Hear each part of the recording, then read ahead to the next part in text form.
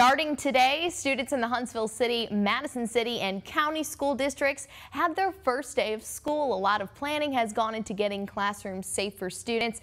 District administrators have worked together to, to create the best plans for their school systems, and one teacher at Sparkman Middle School can't wait to start teaching again.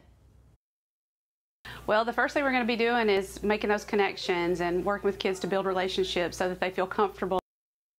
Visit our website, rocketcitynow.com, on the latest policies for your child's school system.